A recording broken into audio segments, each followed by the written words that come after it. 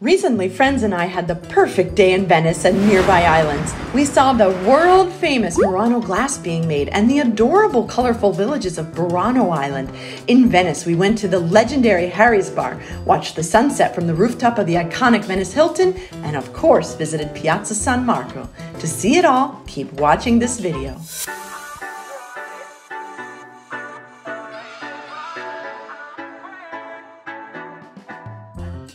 Arrived at the Venezia Santa Lucia train station, the first thing was to get tickets to the Vaporetto, or water taxi, to Murano Island by waiting in this line just across from the train station and to the right. After buying the tickets, we got on the waiting platform for the 4.2 Vaporetto to Murano. And we're off. So, what's so special about this tiny island just 1.5 kilometers from Venice? Murano Island is famous for Murano glass, renowned all over the world. It's a unique form of traditional glassmaking which is colorful and artistic. And we've arrived. Murano is tiny. It's just seven small islands connected by bridges, only one square kilometer in total size, so you can walk the whole island in a short time. We decided to stop in this showroom, Schiavon, which is one of the first shops on your left along the canal after you get off the Vaporetto.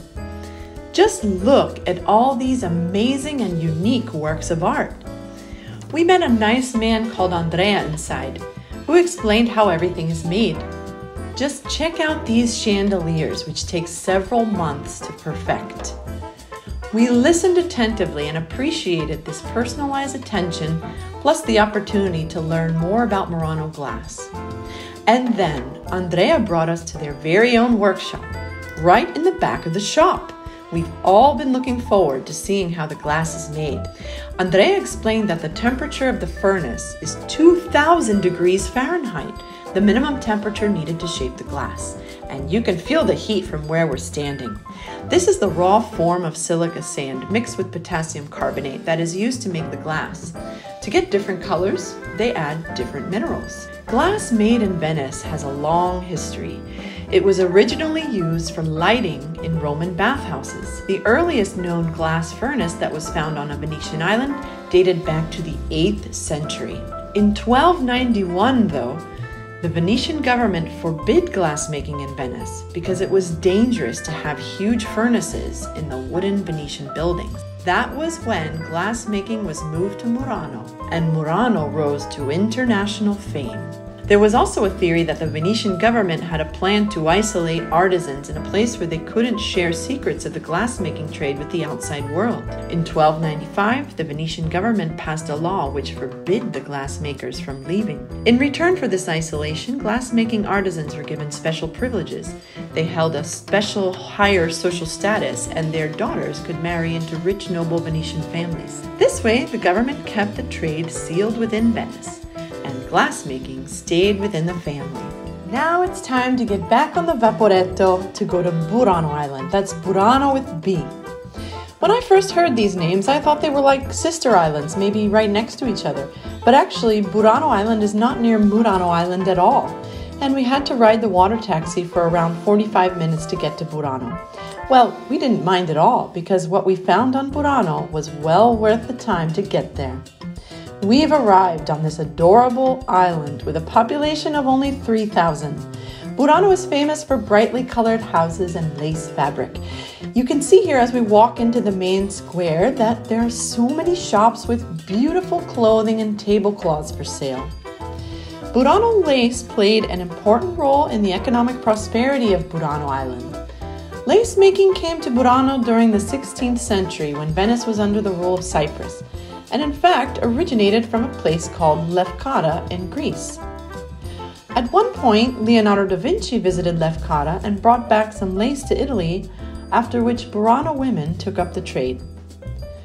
Real lace is handmade, but many people do try to make copied versions.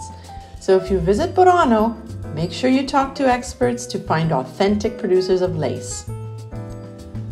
The other motif of Burano is these brightly colored houses which are painted in rainbow colors.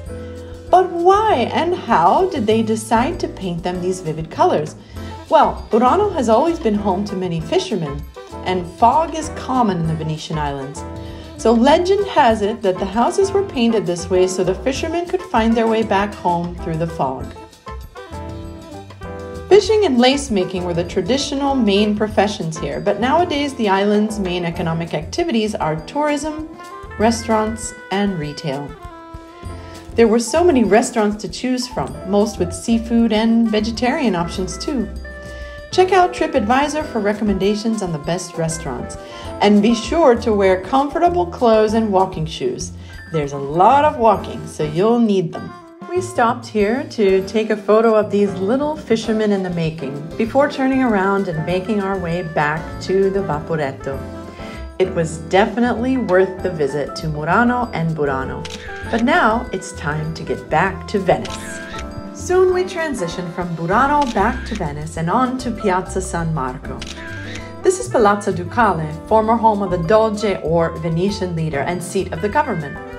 Piazza San Marco is one of the most famous places in Venice, and a visit to Venice wouldn't be complete without at least a stop there.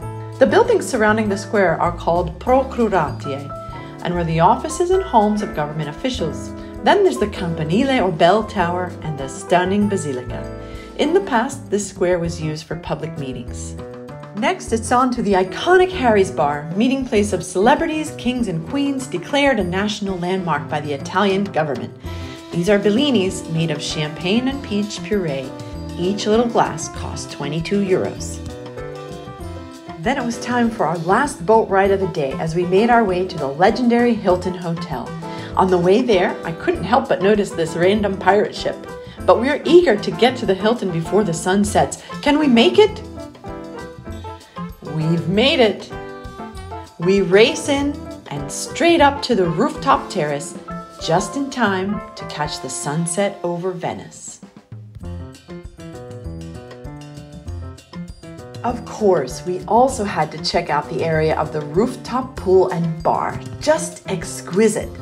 This deck provides panoramic Venice views, and the bar here is one of seven restaurants and bars in the Hilton. There is also a 600 square meter spa and gym. It's the largest convention center in Venice with a capacity for up to 1,000 people. Just be sure to make a reservation if you want to visit the rooftop bar. We didn't make a reservation, but we somehow talked our way inside.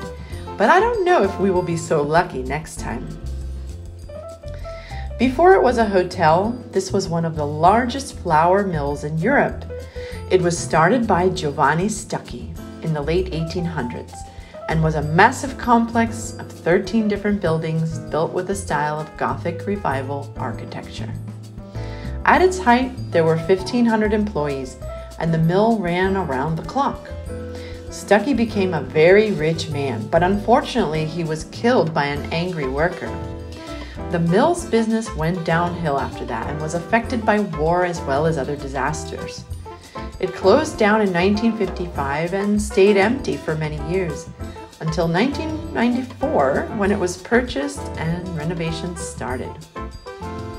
The Hilton Molino Stucchi Venice, as it is known today, opened its doors in 2007. It's now getting late and it's time to make our way back to Vicenza. I hope you enjoyed this video and will take these suggestions for one of your future trips to Venice.